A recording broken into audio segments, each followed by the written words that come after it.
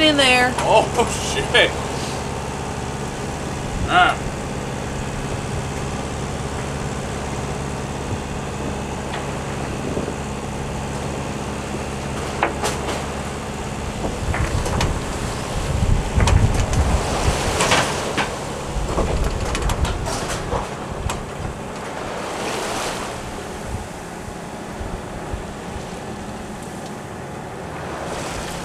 Howzers! What the hell's going on up here? Who's driving? I saw a a uh, couple crab pods. Hmm. Crapots? Crapots?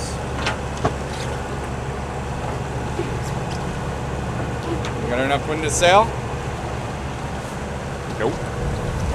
Ooh, Jesus. I think we might hit the corner around 10:30, 11. And then we gotta come around the corner of the island and uh, work our way up.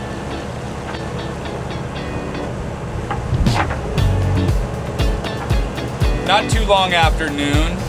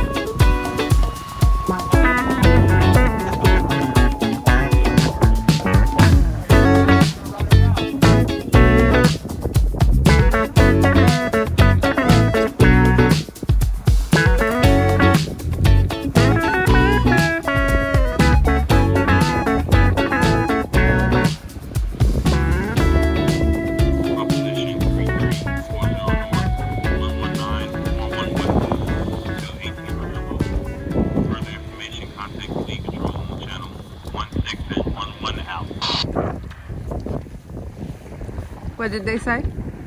Uh, it's an advisory call that they're going to do a live fire exercise and request everybody kind of stay away, which is funny because you don't actually have to stay away. But I think for your own safety, it's probably a good idea. I would assume so. Are we on their way? No, no, no, no. Three three, three three. I mean, we're at we're at three four zero nine. So three four. Uh, each uh, latitude, lat, latitude, longitude, latitude, latitude and distance should be sixty miles. So from three three to three four is sixty miles. Okay. So we started at up in uh, San Francisco. I think we were at three seven. And we're down to three four. Oh, there are dolphins right there. Oh, they're right there. I'm pretty sure is on the other end of this uh, bight. So you, uh, I think you get the winds coming down. They said the other one, the yellow banks, um, doesn't get as much wind coming off of the island. So we'll see. We'll cruise in there. Maybe we'll go straight to Yellow Banks, Okay. or we'll go to Smuggler's Cove. We'll see what the other side of the island, what the lee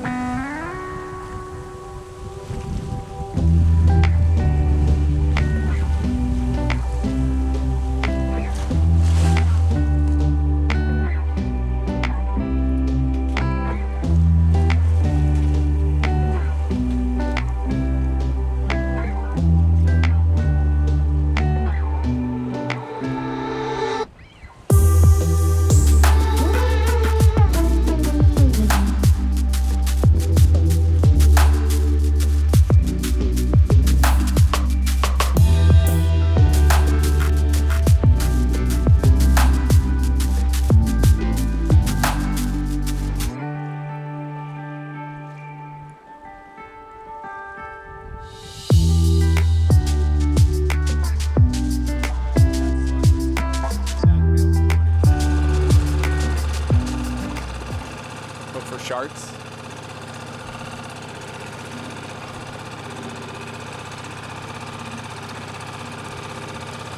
Them coming.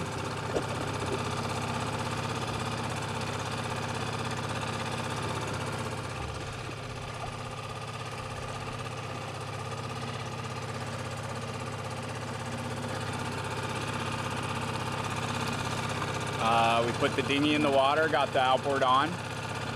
It's still a absolute nightmare of uh, acrobatics to get it in and out of the boat and on the dinghy and everything. Um, we are going uh, to go explore just around the corner. I didn't bring shoes, you didn't bring shoes. This is the first time we've been in sun for uh, a couple of months now. So it's good, and we're hanging out outside and uh, making sure we don't get sunburned. so, uh, yeah, we're just putting through uh, Yellow Banks, Anchorage. Um, and we're gonna go around the corner to Smuggler's Cove. We have a neighbor. Yeah, we have a couple neighbors. We'll probably have more neighbors, I'm sure. But yeah, uh, I'm pretty stoked on where we anchored. We went kind of tucked up uh, from the northwest winds, and then um, we uh, parked in front of a kelp bed. Then we backed down on the anchor twice. Twice. Yeah, because the first one let us go to 1500, and then at uh, at uh, 2000 RPM it started to slip, and then we dropped another 50 feet of chain, and then we uh, backed down to 2000 and we held. So we're good. We can stay. In most most conditions, we can stay. If not, we gotta run. Look at the water. Can you see the color difference in the water? Yeah. Like wait till this wave goes by and you see the blue. Look at that. It's beautiful here. Yeah, it's uh, pretty killer. The beach looks very rocky. Yeah, we're not going all the way in there. Just, just by that color difference.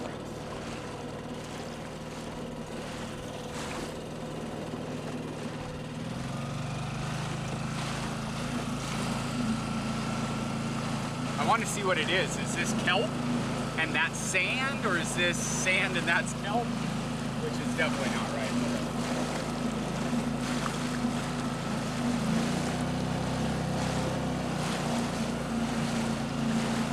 Isn't that cool?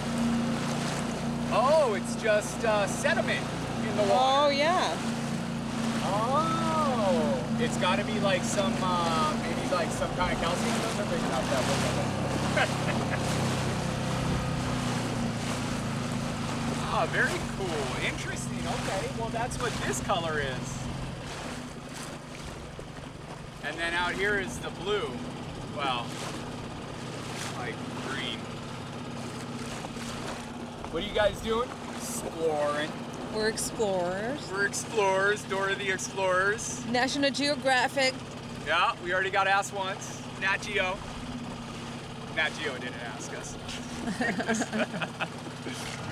we're like the uh, we're the Jerry's kids of uh, Nat Geo.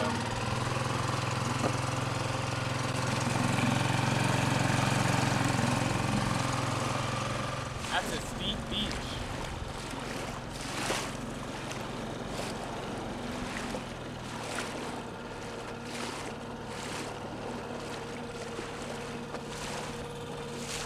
There are the pelicans.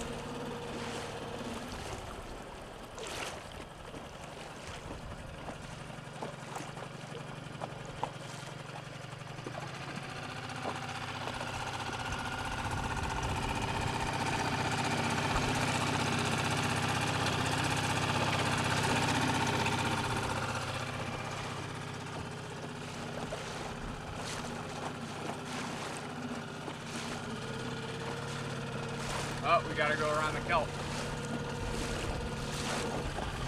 Alright, I'm gonna go fel- fast around this kelp bed. Okay.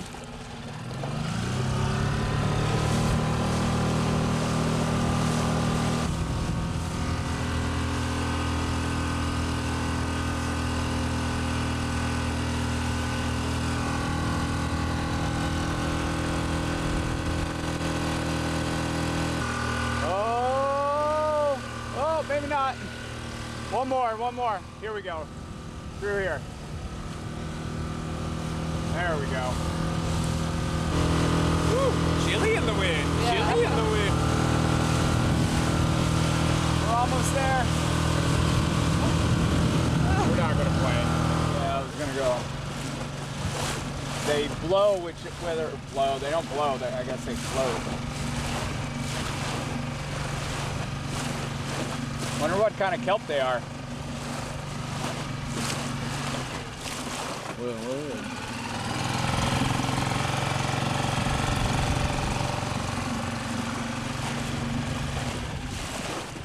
really big.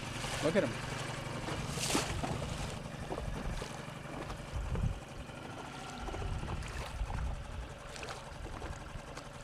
And they go, how far deep do they go? Not sure. I've read something about king kelp being 100 feet, but it's not 100 feet here. Maybe 30?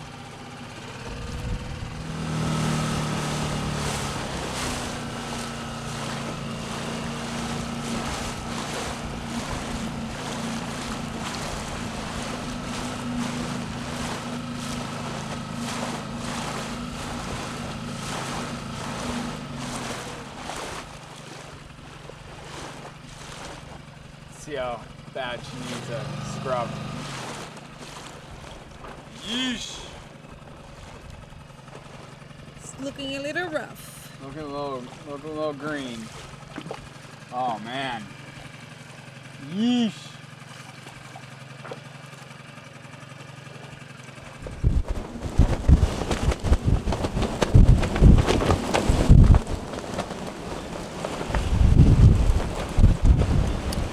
So a little gale force action here. Uh, I'm pretty sure this guy back here uh, he doesn't seem to have a motor. Uh, he's just tacking back and forth outside the anchorage.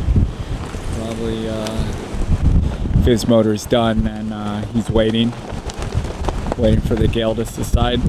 So we have 200 feet of chain out. We dug our anchor in a little. Well, we didn't dig it in a little. We brought it all the way back to 2000, but we're probably slipping a little bit, I think, because we were not in the kale or in the uh, in the kelp earlier. So we'll see what happens here. We'll see if we need to uh, come up and re-anchor uh, if we drag uh, too much more. I think we're dug in, but we've definitely slipped back. There's my marker over there. Uh, right at the tip, there's a rock. And my other marker is uh, straight out there, right there on that point. Uh, it doesn't look like we've come back, but we've come back since uh, earlier. But that might just be our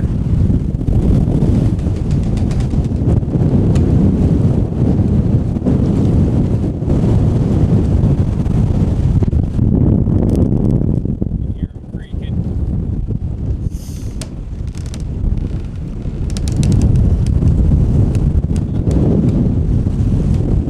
I think it's holding right now.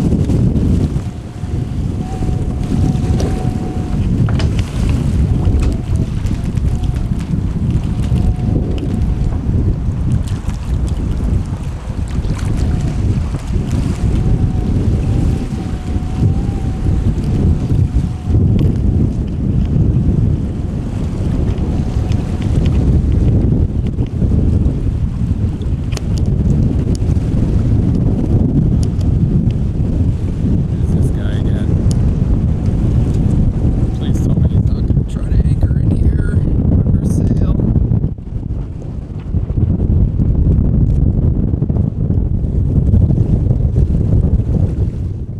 As we settled into dinner, the predicted gale force winds came through the anchorage.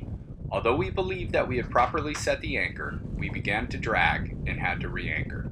The sailboat that is seen tried to drop but was unable to hold. They ended up drifting into the channel and requested assistance from the Coast Guard for a tow back to the mainland.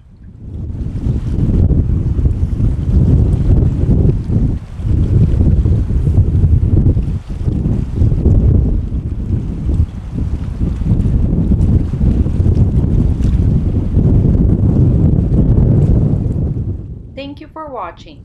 Join us on the next episode as we explore Catalina Island. If you like this video, give us a thumbs up. Ciao, ciao.